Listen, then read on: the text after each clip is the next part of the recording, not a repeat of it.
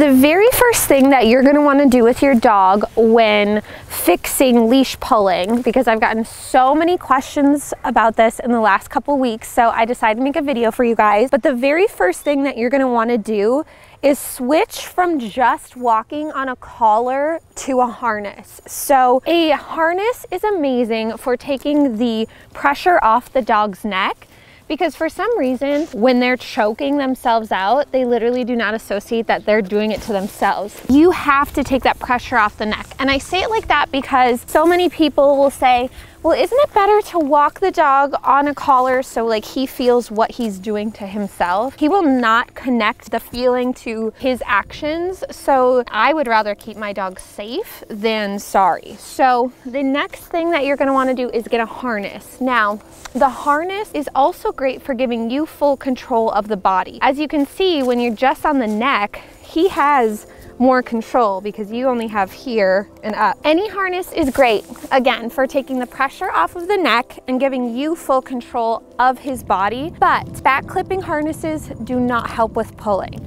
So if you are able to get a front clipping harness, that's what I recommend because back clipping harnesses almost entice the dog to pull more. If you think about sled dogs in Alaska, that's what they wear to pull the sleds is a back clipping harness. So it's not gonna help with the pulling or it's gonna make your dog pull harder. So that's why this front clipping one is amazing. And the harness that I like is the Easy Walk harness. Now it has a couple flaws. That's why I need to make my own harness. But for the most part, it's amazing. With this harness, it feels a little bit awkward in the beginning because the leash is right in the front, but it's going to keep him from pulling because this kind of has a double martingale right on the front and when he tries to pull, it's just going to tighten. The other thing that I did is switch to a shorter leash. So I love this brand. It's really short. It's called Rock Straps. And it's also got this second strap right here to be able to hold on to, which is amazing for a puller or for like a dog who's reactive. It's really nice to have that extra strap, but I only recommend a leash when you're doing heeling training, four feet or even shorter, but like four feet is perfect. That's another thing is that you never wanna use a retractable leash. If you don't want to go as short as four feet, do not use a retractable leash, please. One, I have a blog post going on about it in more detail, but the main thing is, is that it's dangerous to you and your dog. And then also it has a always changing distance where the dog gets to walk away from you. So you need to be consistent with how far is okay for your dog to walk right next to you and have that circumference of where your dog is allowed to walk. As a recap, before we even begin to start walking, number one, get rid of just walking your dog on the collar. Switch to a harness, specifically even better, a front clipping harness.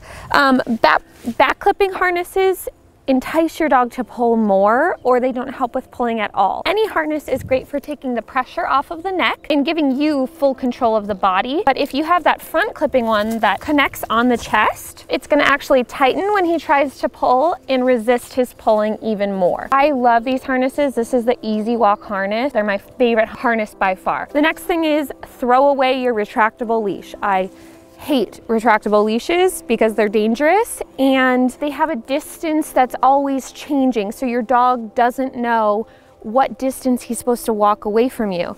I like this one, a four foot leash that also has an, an extra handle for you to grab um, for pullers or for like reactive dogs, this is amazing to make sure you have full control. This is a really sturdy leash. It's my favorite, rock straps. Okay, so how to stop your dog from pulling. In the beginning of heeling training, use treats, treats, treats, and don't be afraid to. You have to be more motivating than anything that's out here. To establish this routine with your dog, to try to get him to focus on you and be heeling next to you, you have to start the routine off with something very, very motivating, especially with all these distractions. I use treats and a clicker word in the beginning, and the number one issue that I see in leash walking is that a dog naturally, the second he goes out the door, or with, in some dogs, the second that his harness goes on, leash goes on, there's 0% focus on the owner. And that's what you can see with Vlad. When he was just walking, he was in his own world. He's looking here, looking there. He's like, what's that? A squirrel, bird, what's that sound, whatever. So naturally, he's in his own world. So whether your issues are just having a dog that pulls on the leash or you have a dog who's reactive or aggressive on the leash, the very first step is to get your dog's focus. Focus goes so far. Vladdy, yes, good. Now Vlad doesn't sit. His owners didn't want him to sit because he's a hunting dog, so he only knows down. So typically what I do where he's going to be laying down, I'll typically have the dog sitting. But if you can get your dog to lay down in these situations, even better because that means the dog is fully controlled. Keep in mind when you're going to start heeling training, you shouldn't try to right off the bat apply this into your mile long walk. You should not ever set a distance when you're doing heeling training you should set a time and if you only get at the end of your driveway, that's okay. Because a lot of what the heeling training is, is in the beginning, it's going to be a lot of brain work. If you try to incorporate this into your full on walk, you're gonna go crazy. Like you're gonna get so frustrated. It's going to take you three hours to get back to your home. So before you even begin walking, make sure that you have your dog's focus. So look at Vlad right now. He's looking ahead and I see so many people begin the walk right then when he's in his own world. And he's gonna just continue to be in his own world. If he's in his own world mentally, which is typically straight ahead, if I start walking, he's gonna be that way physically and mentally. So before we even begin walking, I'm going to make sure that I have his focus. So get your dog to sit or lie down and focus on you. So remember that sit and the down is not enough if you don't have your dog's focus. So basically you don't wanna start walking until your dog doesn't care to go forward. Yes. Right now he's so focused on me so I'm gonna have my hand at the side like this. So like I said before, a huge part of heeling training is going to be focused on treats in the beginning, and then we're going to shift that focus to eye contact. Vladdy, down. Okay, now I'm gonna start walking and make sure that I have my hand right here, that he's focused here. And you can always drop down and give him a treat right there in that position. Ah. Yes. So see, I'm not gonna start walking because he's focused on the dog over there. Okay, now we're gonna start walking. Yes, and I'm gonna drop down and give him a treat right here. Vlad, yes, good boy. The second that his focus goes off of me, I'm going to be calling his name back to me. So like I said before, a dog naturally has 0% focus once he gets out the door. So during training, it's important for you to practice 100% focus during the training because realistically, you're going to get somewhere in the middle of that. So you're going to get more like 50% focus more like, I guess like 60, 70% probably, which is perfect. You want your dog to look around and smell things, experience things, be able to see things, but you need to be able to grab your dog's focus no matter what. So if you train at a 50% focus mark, you're only going to get somewhere in the middle of 0 and 50, so like 25% focus, which is not enough. So we're aiming for 100% focus. So I think a lot of people make the mistake of not trying to get their dog's attention until the dog is pulling. The point of calling your dog back to you when he focuses off of you is to prevent the pulling. I'm gonna make sure I have his focus before I start walking. We're gonna start walking. Make sure that you praise that focus right when you start walking.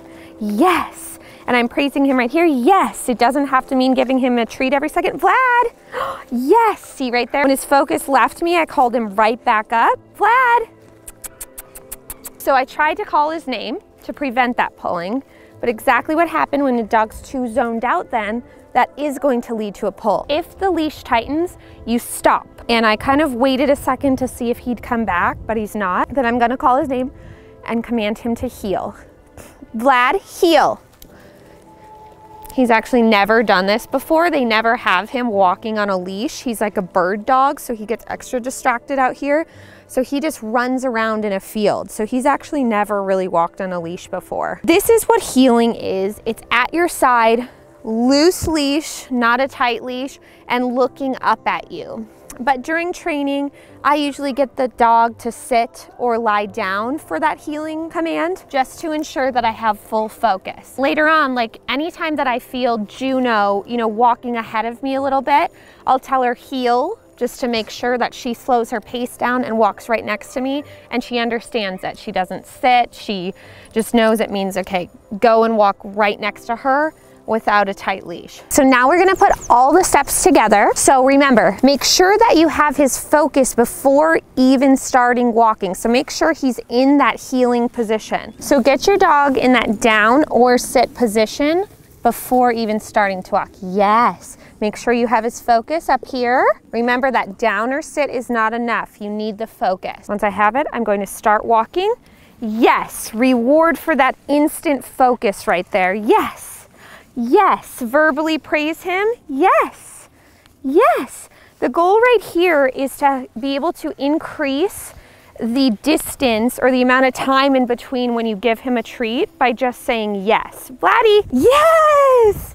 And that's okay if your dog is jumping up like that in the beginning. That happens with almost every dog. Vlad, oh, yes! That almost was a pull. Yes. Eddie, Vlad. So if he pulls, stop, tell him heel, and you're going to, I didn't really explain this last time, take a step back with your right leg, circle him around, and then swoop him back around, and then back to the down or sit. Good. For a recap in how to get your dog to stop pulling on the leash, in preparation, make sure that you have your front leading harness, your four foot long leash, and treats. Step one, Make sure before you even begin walking that you have your dog's focus. So have your dog sitting or lying down right next to your side and ensure that you have your dog's focus before going forward. Step two, aim for 100% focus on the walk. So the second that your dog looks down or away from you, call his name up to try to prevent that pulling. Reward him with a treat, with the clicker word, with praise when he does look up at you. Step three, if the leash tightens, stop. Do not allow your dog to think that a tight leash or pulling gets him what he wants. You have to stop completely and hopefully your dog will start to look back at you. Step four, when you are stopped, command your dog to heel. Heel means at your side, loose leash, focusing on you. So to get your dog into the heeling position in the beginning, you have to take a step back, lure your dog around further back than your back leg or your back foot, circle your dog back around, and then get your dog back in that seated or lying down position and reward him. Then you're not gonna start walking again until you go back to step one, until you have your dog's focus. Remember to aim for a certain amount of time, not a distance when practicing this. And good luck.